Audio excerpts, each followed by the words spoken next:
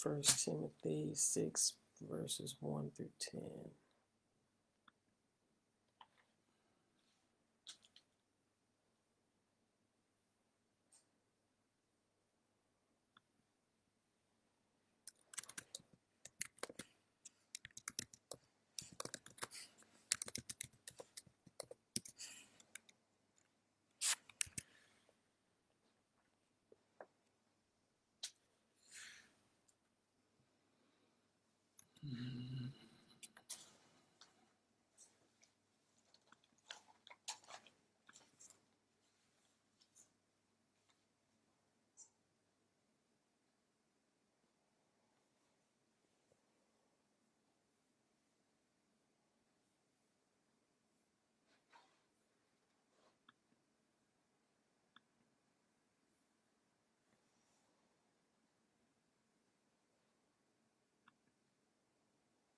All right.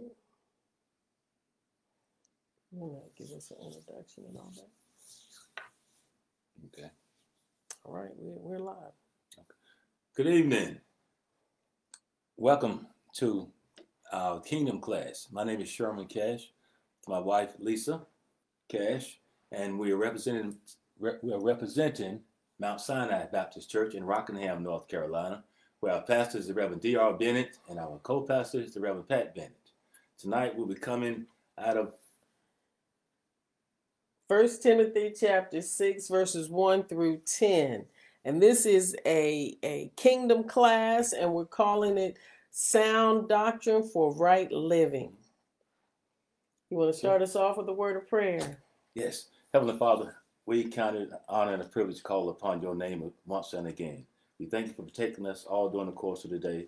We thank you, Father, for your word that we're about to go forth and learn more of you. Bless and want the hearers of the word that we may grow strong in the knowledge of you. We love you, Father, and we thank you. It's in Jesus' name we pray. Amen. Amen, amen, amen.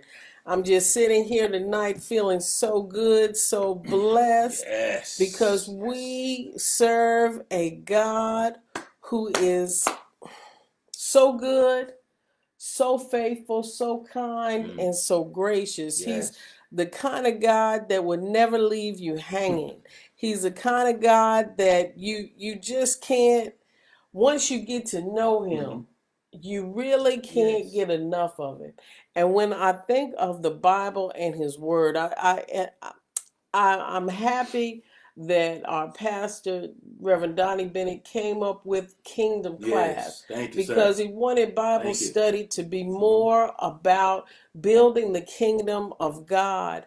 And and that is so important. Yes, and. God is such a we say all wise God that he didn't leave it to our own imagination. He gave us a Bible Yes, is. a Bible that that was compiled throughout many years, Mhm. and the word doesn't fail. You know, this I like to say our, our Bible is is like our instruction There you manual go.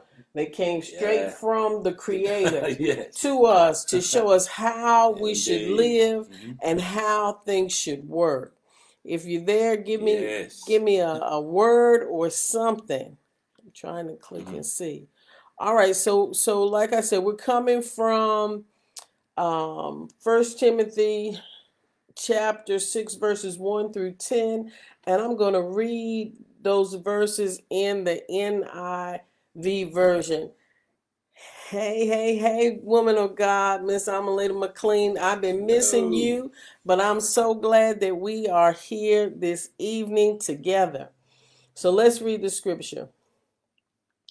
All who are under the yoke of slavery should consider their masters worthy of full respect, so that our God's name and our teaching may not be slandered. Those who have believing masters should not show them disrespect just because they are fellow believers. Instead, they should serve them even better because their masters are dear to them as fellow believers and are devoted to the welfare of their slaves. These are the things you are to teach and insist on. If anyone teaches otherwise and does not agree to the sound instruction of our Lord Jesus Christ and godly teaching, they are conceited and understand nothing. Mm. They have an unhealthy interest in controversies and quarrels about words that result in envy, strife, malicious talk, evil suspicions, mm. and constant friction mm. between people of corrupt mind who have been robbed of the truth and who think that godliness is a means to financial gain. But godliness with contentment is great gain. For we brought nothing into the world, and we can take nothing out of it. But if we have food and clothing, we will be content with that. Those who want to get rich fall into temptation and a trap, into many foolish and harmful desires that plunge people into ruin and destruction. For the love of money is a root of all kinds of evil. Some people, eager for money, have wandered from the faith and pierced themselves with many griefs. Hmm. Griefs. God's word for God's people. Mm. Hey, Miss Deborah Garris, good evening. And I don't mean, I mean, minister, preacher Deborah Garris, woman of God, good to see you this night. So here we go. We're just going to go through it and we're going to comment on it as we go through it. Verse 1, we're going to take that by them by itself. All who are under the yoke of slavery should consider their masters worthy of full respect, so that God's name and our teaching may not be slandered. Mhm. So this is Paul writing to Timothy, Okay. and we remember Timothy was a young pastor. Yes. And so he's already been taught by Paul, and he's been a Christian, you know, a believer in God um, for most of his young life. And Paul is giving him the good advice. And so at that time, people were still in slavery, not slavery like in America, Mhm. but but people who owed a debt Right. would would work as slaves until they got their pay their their Yeah. debt paid off. And so there, Paul is saying, addressing how these people should be treated. Mhm. You as a slave who is a believer in Jesus Christ, and you as a master Right. who is a believer. He's he's talking about this. This is not something. This this scripture. Um, back in the slavery days was one of the scriptures that would be used to condone slavery. Mm. So it's in the Bible, you know that that is that slavery is, and so that that justifies it. It, it didn't, and it was taken out of context. But what I want to think about is what is the the point of this, and who is it talking to? How is it relevant for us today?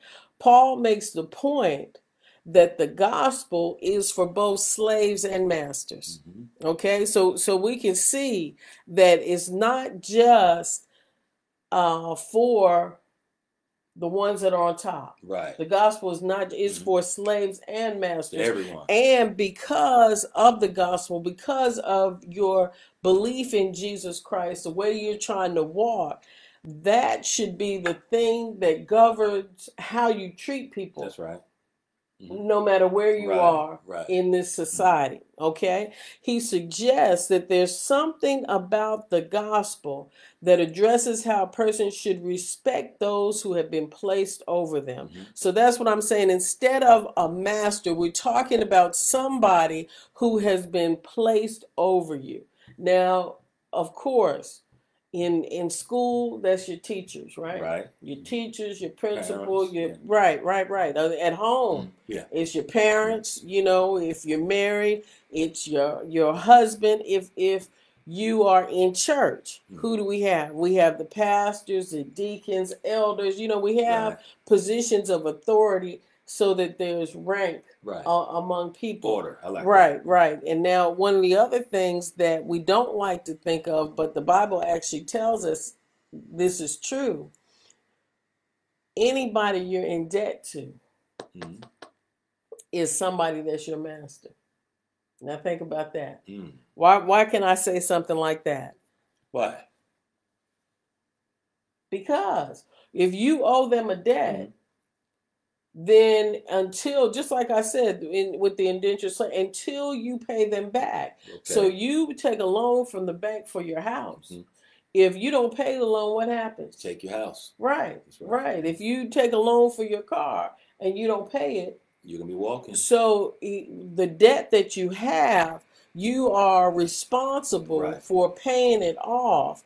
And so those people are over you. Your your debtor, the one you're in debt Mhm. to, is over you Right. until you pay that back. You Right. see, so you understand what I'm saying? You. yes. Why am I saying that? Because in in our lives we may not be slaves, but we do have masters or people who have been given some authority over us. Some people have been given that authority by God. Some people we give them that authority. Okay. You know, so if I go to work for a person, Mhm. then if I sign a contract and I agree, then I have agreed Right. that that person has authority over That's me. true. Right. Yes. Mhm. So same thing. If I if I take a loan out, then I'm agreeing that that person has some authority. You know, there's something about my finances that have to go Right. to that person because I I made an agreement with them. Okay. Bosses, teachers, leaders, creditors, debtors, we are co- to consider them worthy of respect. That's what Yeah, okay. that's what so so right. look, now this is this is going to be one of those things when I talk about your debtors. So how about your your couple payments late on your debt? Mm. What happens? There's an interest charge. They start calling you. oh yeah. Now, Letters. now how do you treat those those debtors that start calling you? well, Tell me the truth. Check your caller ID first of all. Don't answer the phone, but you have to talk. Have to talk. No, you to, tell the truth. I asked you to tell the truth. Oh, okay. So yeah. Well, you need your. I would hope you would contact the people because the, the phone I calls. The asked phone calls going. treat them. The, the phone calls going to keep coming Right. regardless. So so this is just saying most people try to avoid the people who are even if you didn't make a a, a, a debt Mhm. with a lender. Say you borrowed money from somebody and you told them you were going to pay them back on payday. Mhm. And by the time payday comes, you you you're already finished with your money. Uh, And so then they come around, you kind of don't want to look in their eyes, right? go the opposite way. You want to go the opposite way. You don't really want to tell them, Mhm. I'm sorry. I, I, I lent your money out to somebody. You know what I'm saying. Yeah, but you know, you really, you really, that's what we normally would do. Yeah. But we'll talk about the, the real thing, what we should do a little bit later on. Well, that's what I'm saying. So that's what I'm saying. I'm I'm saying in real life, we usually don't give the respect that Paul is talking about Okay. right here to the people that Right, we okay. we lend to, um, who people who have lent us money. Mhm. That we're right? in debt to. Right, we're in debt to. We usually, and Paul is saying, no, now if you're a believer, you are supposed to consider them worthy of full respect. So you want to do exactly what the Bible says. Hey, Hannah Renee Williams, you want to say, okay, if I owe you money and I don't have it, my what to give you full respect, I should tell you Indeed, what my plan indeed. is to pay you Mhm. and what's going on. Right? That's, That's- full respect. Right. All right. Now, same thing. We know we're supposed to respect and honor our parents, Mhm. right? So so that those are people who are have authority over us. That's right. So even sometimes, especially as we get older, our parents might seem like they're kind of going crazy, going off the deep end, asking you for things, but how do you respond? Even if you don't agree, you have to treat them with respect. Amen. Okay? Amen. All right, so now now we're out of our house. So how about on the job? How about on the job? How about on the job the boss just gets on your last nerves and disrespects you? How are you supposed to respond? The boss man disrespect me, so I'm gonna cut a corner. That's what I'm gonna do. Okay, so exact. Well, that's what happens. So some people want to take it out in a in a passive Uh-huh. aggressive way. Hey, Prophetess Cox, how are you? They they they want to, you know, right? I'm going to make up for it on the sneaky side. Yeah, Some we'll get you. people want to come in. They they get a plan. I'm I know just what I'm going to say to them. I know how I'm going to say it to. 'em. I'm going to give them a piece of my mind, Ooh. and I'm going to tell them just where they can take that, just what they can do with that. And so Paul is saying, no, now that's your boss. That's true. You're supposed to give them full respect. hmm All right. And now there's a reason for that. Now, no, number one, you might lose your job. Indeed. Right. But number two, if you are carrying yourself as a believer, there's supposed to be a different way that you carry yourself. Amen. It's not saying that you're supposed to be a doormat, but there's a different way. You know, if you are the believer on the job, suppose you're the only one that says, I'm a Christian. hmm Okay. It's not good for you to be the one that's gonna everybody has to walk on eggshells. They they know if they cross you, they're gonna get cussed out. Mm. But you're the one that says you're a Christian. Oh, That's not you. That's no, not- you, you're not- supposed to show respect. Amen. You should supposed to show that respect. it's a difference. You should have a should be a distinct difference in you in your actions. Exactly. And then then what he says, okay, let's go on to let's go on to um he says we show them that respect so that God's name and our teaching may not be slandered. Yes. Good evening, Miss Barbara Ingram. So so it's not really because a lot of times you just want to show people that you're right. You know, Yes. you want to show people that you they did you wrong and you know it and you want to set everybody straight. Everybody know. But if you do it in a disrespectful way and you have already identified yourself as a Christian, I go to Sunday school, Mhm. Bible study, church, this is my church, this is what we do, and now you are showing just the ugliest side of Oh, anything, then it makes it look like well those Christians really aren't about much. because they're gonna look at you as the whole. You're the one. You're, You're the, the one that's that's that is the walking Bible to Mhm. them. You're the one. So so we don't want to make God's name look bad. no. And we don't want to look like the Bible doesn't give us instruction on how to respect people and how to to act. All right, so so here we go on on verse 2. Those who have believing masters should not show them disrespect just because they are fellow believers.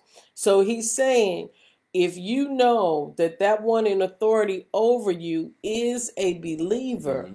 then you should not disrespect them, not only because they're over you, but you should not disrespect them because they are also believers. Amen. All right? Amen. Good evening, Deacon Ratliff. So it says instead, they should serve them even better Yes. because their masters are dear to them as fellow believers and are devoted to the welfare of their slaves. These are the things you are to teach and insist on.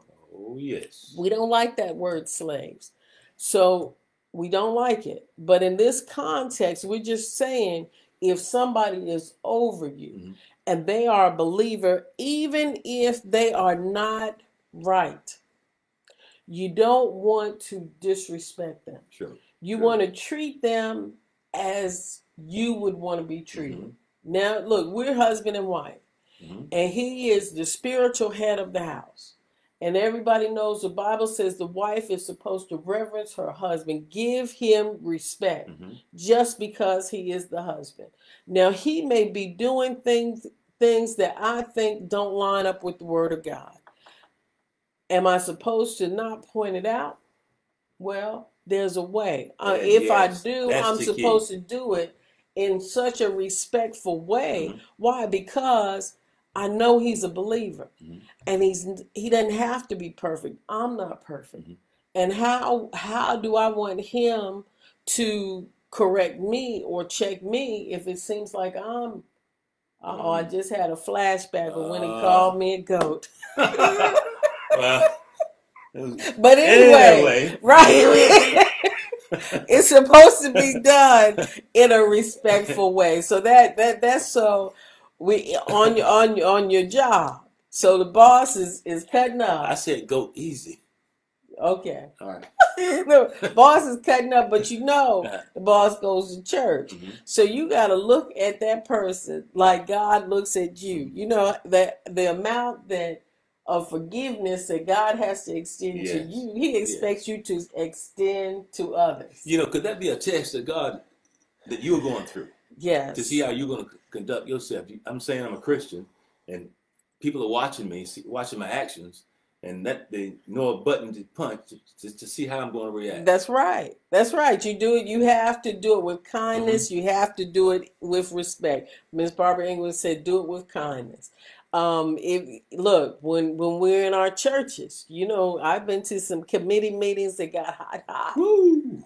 it got really hot. Yes. But but if everybody, we can have differing opinions, Uh-huh. right? right. But we should still be able to treat each other with love and respect. Amen. And that's that's what because and why and we should work harder at that when we know the other person is a believer. Because God just said, consider them fellow believers and that they are precious in in your sight like you are precious in God's sight. Precious. I like that word. You like that precious Yes, word. precious. He Paul says these are the things you are to teach and insist on. All right, so you you all know kindness does go a long way. Yes, indeed. So we're talking about sound doctrine leading to right living. So we know right here Paul is telling he's schooling uh, uh, Timothy, Timothy. on how to be a good pastor, how to walk this Christian walk. Right. And even if we are not pastors, we can, this is good advice is. for how to walk this Christian walk with love, hmm with kindness, with respect for anybody who's in authority over you. And if you are in authority over somebody, hmm with just heartfelt godly love towards everyone and even more favor towards those who say that they are believers. Right. Now that's that's getting us to right living. Hey cousin Kathy. All right, so here we go. Let's see. Let me see. Let me see where I am. Paul is suggesting that fellow believers should regard each other more highly and work together out of care and respect for each other. That is godliness. Together. This also suggests that masters, those who have authority over others, should have a different view of those under them because they have a relationship with God. All right? Because they have a relationship, because I have a relationship with God, there's a certain way I'm supposed to treat Mhm. the other people that are under me. And it should resemble the way God treats me. Yes. Exactly. It should resemble that. Let's go on to um, verse number three. If anyone teaches otherwise and does not consent to wholesome words, what are wholesome words? Good words, true Truth. words, not cussing words, not lying words, Mhm. not confusing words. Basic truth. Right. Even the words of our Lord Jesus Christ and to the doctrine which accords with godliness. Oh, oh, that's New King James. Let me go back to NIV. If anyone teaches otherwise and does not agree to the sound instruction of our Lord Jesus Christ and to godly teaching, they are conceited and understand nothing. They have an unhealthy interest in controversies and quarrels about words that will result in envy, strife, malicious talk, and evil mm. suspicions. Oh my goodness, have you all been in the situation? Mm. Especially, and you know it happens at church, but it happens on the job Mhm. too. Yes. Somebody is going to say, point out something about a Christian. Yes. And then somebody is going to say something about the Bible that is just a little altered. Mhm. And then everybody starts bickering about that. People get bad feelings. Yes. I, I was in, I was, I'm, I'm having a, a flashback to a Bible study a long time ago. And we were talking about equality and how, how God and Jesus looked at the difference between men and women. And then one of the guys said, Well, Paul wrote half the Bible and he hates women. He hated women. And then there was just so much that struck Yes. up Uh-huh. that we couldn't even get back to the Bible. And we had, I, I remember leaving that Bible study Oh, feeling yes. so bad. Mhm. But that was somebody who strayed away from sound doctrine and then that that left us so so it says they are conceited and understand nothing so here you are with people and somebody is saying something that is basically just a fire starter Mhm. all right Yes. i i don't i don't see how jesus could possibly have been born of a virgin i just don't see it and Mhm. so then everybody starts talking about that and they get off of the fact Uh-huh. that that's the gospel Yes. and what god taught and i can't none of us can go back there and prove it Mhm. You either believe it Believe it. because it's in the Bible or it's not. That's just one of those things. You Mhm. know, you I've seen documentaries where the Red Sea wasn't really that deep Oh yeah. when it parted. And then people can go on that. Well, if it wasn't that deep, it might not have been a miracle. Whose report are you believing? Well, right. But see, the thing is, these are unhealthy Uh-huh. interests in controversy, quarrels, and words that result in envy, strife, malicious talk, evil suspicions. And we're we're talking about kingdom building. Mm. So so that's where if you're you're somewhere, whether you're at a family gathering, at work, Mhm. at church, if you start getting into a bickering, trying to prove who's the smartest, who has the Oh, most yeah. knowledge, and it's about you showing how much you know, and it's not about the bottom line. God loves you Amen. sent his son to die for Mm-hmm. you. You need to have him and you need to listen to the Holy Ghost so you can know how to act, Amen. right? And it's not the way I mean, see we, we can add more icing on Oh, it. yeah. There's more to it than that. But once you get so far off track that people are, somebody can leave feeling right. Mhm. They may have run won the argument, but what did they do for the kingdom of God? It's tore up a lot of people, made a lot of people confused. That's right. That's right. Paul is basically saying that anyone who's trying to teach or preach ungodly behavior from a believer towards someone that has authority over them is wrong. Mhm. So if I'm telling you, okay, so the way to get around those debts that you incurred honestly is to lie Oh no. And go through all these hoops. So so that's like I'm trying to teach you how to steal Right. because you signed a contract that wasn't a trick. You understood what it said, It and now you just don't feel like paying. Mhm. And so, if I'm trying to teach you how to get around that, I'm wrong. Yes, you are. Yes, I'm you wrong. are. Uh, uh, it also implies that any believer who is in a who is in a position of authority is supposed to show godly character, and any teaching or preaching otherwise is only going to cause further problems with envy, strife, malicious malicious talk, evil suspicions, and constant friction between people of corrupt mind Mm. who have been robbed of the truth and who think that godliness is a means to financial gain. Mm. That is a that's a lot. But let's break it down. Let's look at it. Let's look at it. So if I am someone in authority and I'm a believer and I am trying to preach or teach that it's okay to to not show respect for certain people. Okay. So what do you exactly? You know what I'm saying. I'm trying not to, you Mhm. know, go to any particular. But some people, let's just let's just say let's just say this. Um, the church is doing something, and somebody says, "What about the children?" Well, you just tell the children this and thus. They don't really need to know that because they're not going to be able to understand it. That's kind of disrespecting them Mm. as far as le- learning about their religion. Okay. Or say I'm a deacon or a trustee Mhm. and and and we're making some financial decisions that have to do with the church. And somebody says, "Well, we we need to tell the other church members." And another one says, "No, we don't. Oh my goodness. They don't need to know. Mm. They're not. They don't sign on the bottom line. This is they. They don't need to bother themselves with that. Then you're Disrespect. disrespecting Yes. and and what do you cause? You cause Friction. you cause friction among the people. How are you building the kingdom of God? All right. constant friction between people of corrupt mind. Now, let me let me break it down.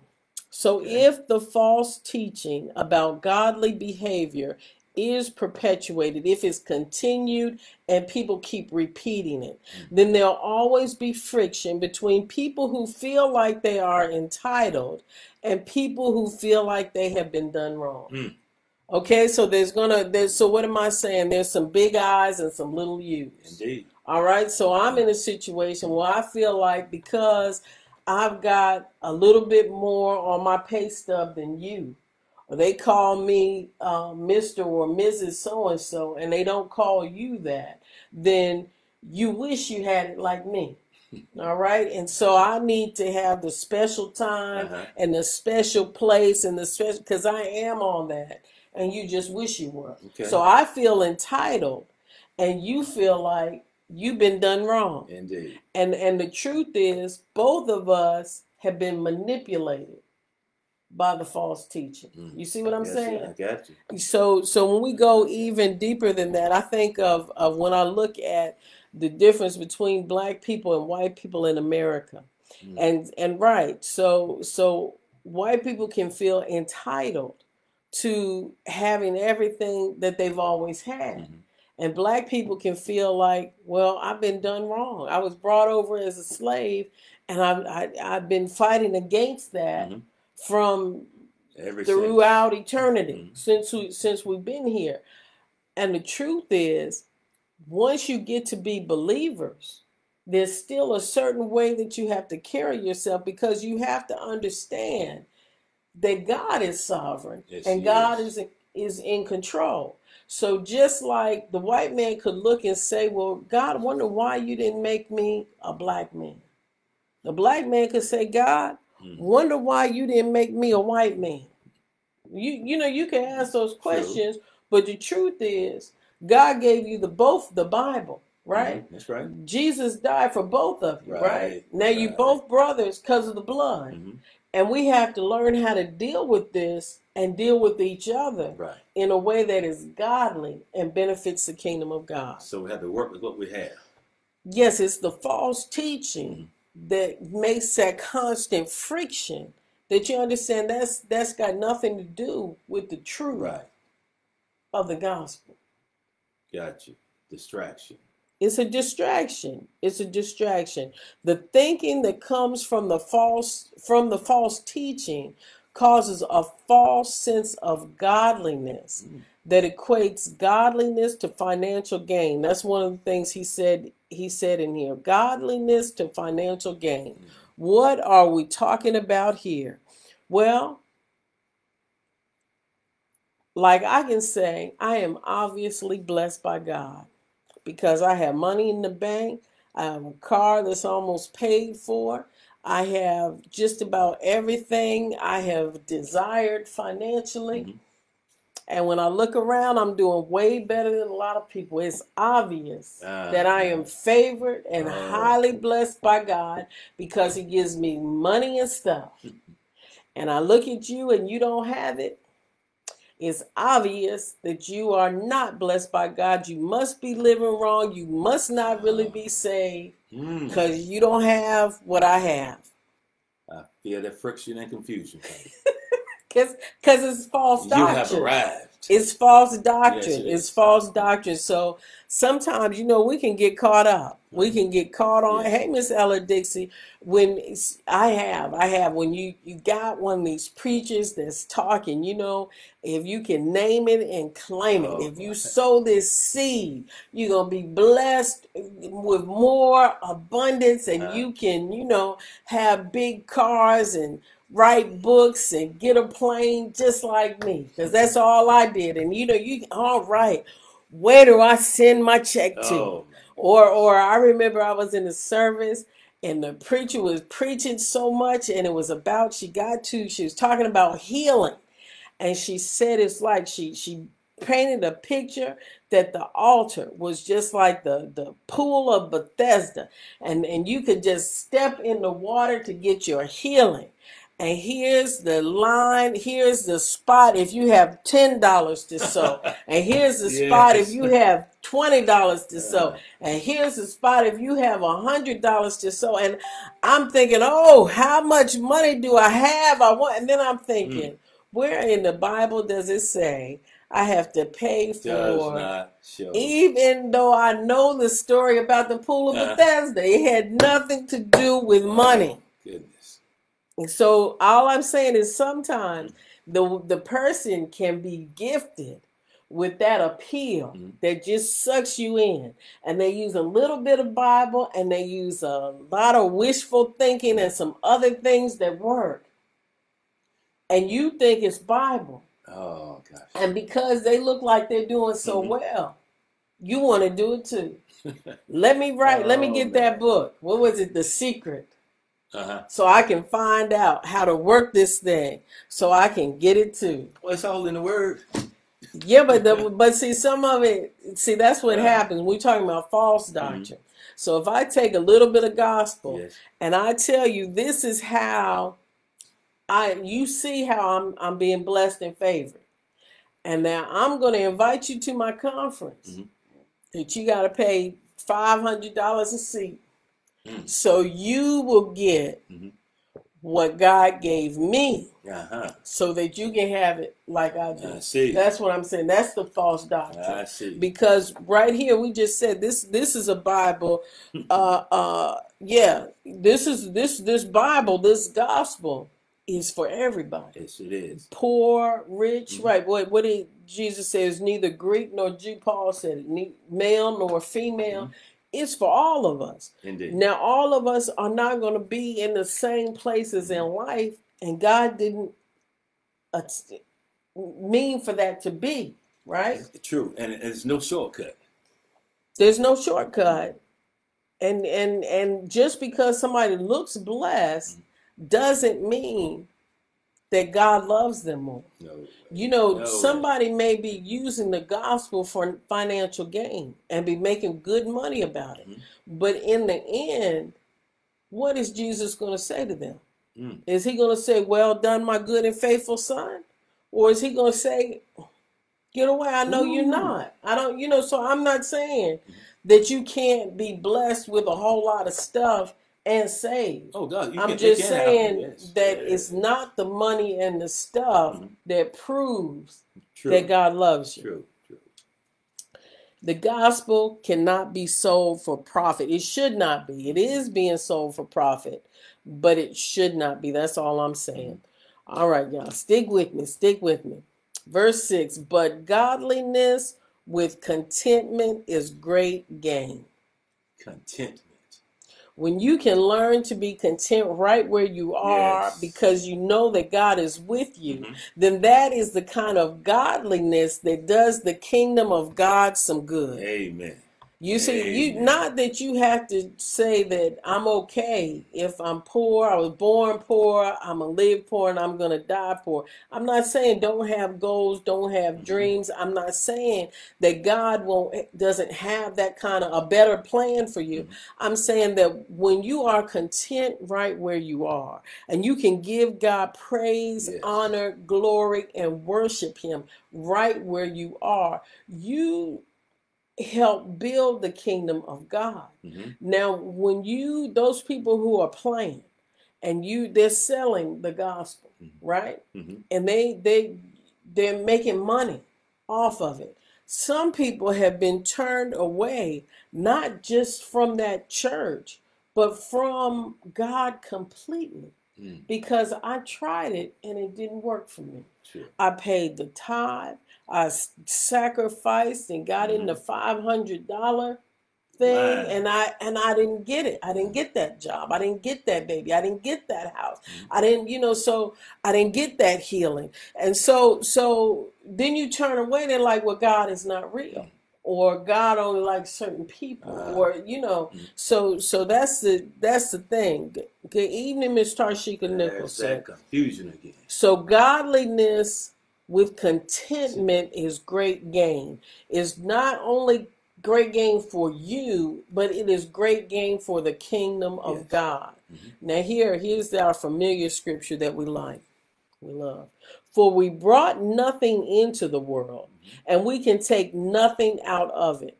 But if we have food and clothing, we will be content with that. Remember, this is Paul talking to Timothy, Right. and you're about to be a pastor. Mhm. Yes, sir, you could tell the people what they want to hear. They'll give you a lot of money, they'll treat you real good, and you could just live like that. But he's saying, Come on, young pastor. Mm-hmm. If you have food and clothes, you're actually good. Amen. That's what he's saying. That's what he's saying. Now, now I want to ask you all, when we came into this world, what did it take for us to be satisfied? When you came into the world, what did it take for you to be satisfied? Mm. little milk, a little rocking. little rocking, little Plain. close to somebody, right? Plain. And if my Simple. diaper's not right, I need, and that's all it took That's it. for you to be satisfied. Mhm. Little food in your belly, Mhm. some human contact, And a dry diaper. and you were good. Mhm. All right. Now my, my other question, what Ella Bland said, it took very little.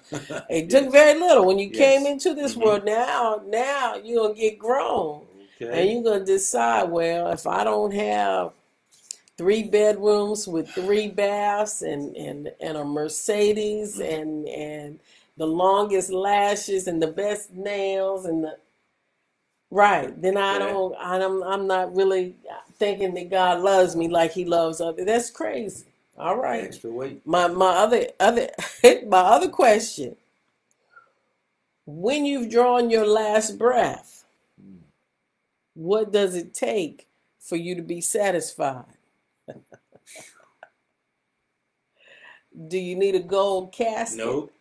Do you need 50,000 people at your going away service? Nope.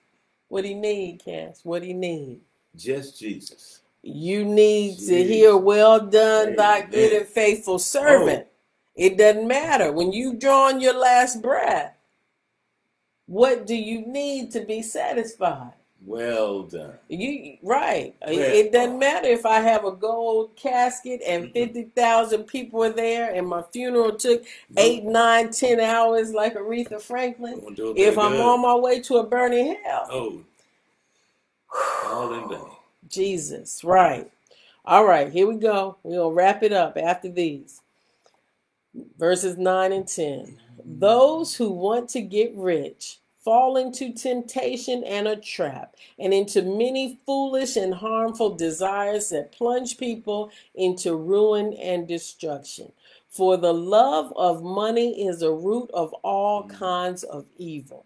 Some people, eager for money, have wandered from the faith and pierced themselves with many griefs. Mm. Well, what am I saying? Am I saying that it's a sin to want to have more than enough money? No, it's not. It's when you when, you go to the point that that's all it is. You got to have this, and I go through any means, hook, crook, whatever it is, to obtain it. That's when you worshiping it. When that's when you start worshiping money. That's when you start loving money. Right. So so I the truth is money money helps things happen. It does. Money helps things happen and without enough money you can be distracted by your need Mhm. for your your basics in life, right? Right.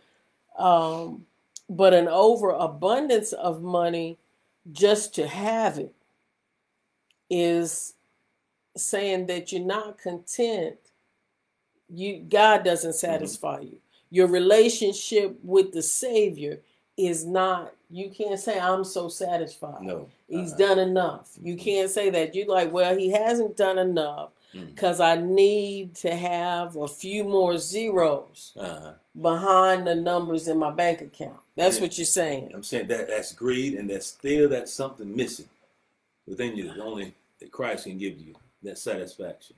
the kingdom of God on earth does need money Mhm. to Yes, do function, stuff. Yes. We want to have money. If our church had all the money that we desired to be able to make sure that nobody under our jurisdiction was hungry, that'd be beautiful. Oh yes. Right. That nobody under our, under our ju- jurisdiction was homeless.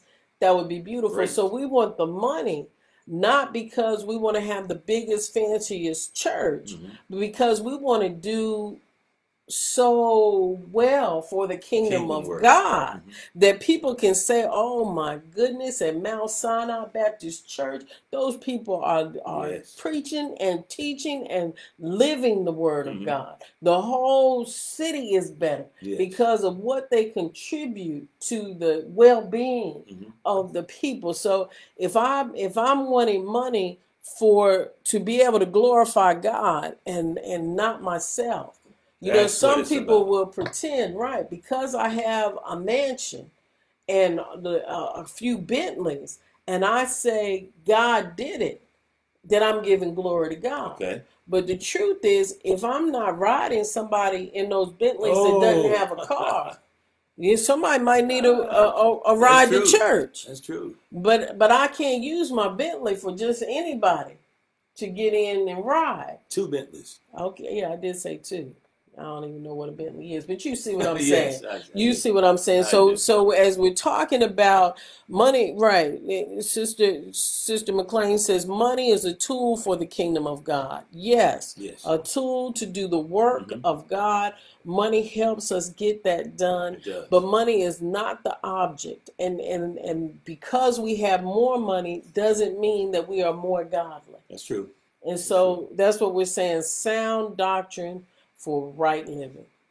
Yes. I thank you Yes. all so much Thank you. for your input Thank you. tonight. I thank Sherman Cash. I. I love you all and I want God to get the glory out of all of this. Let's Yes. close in prayer. Please.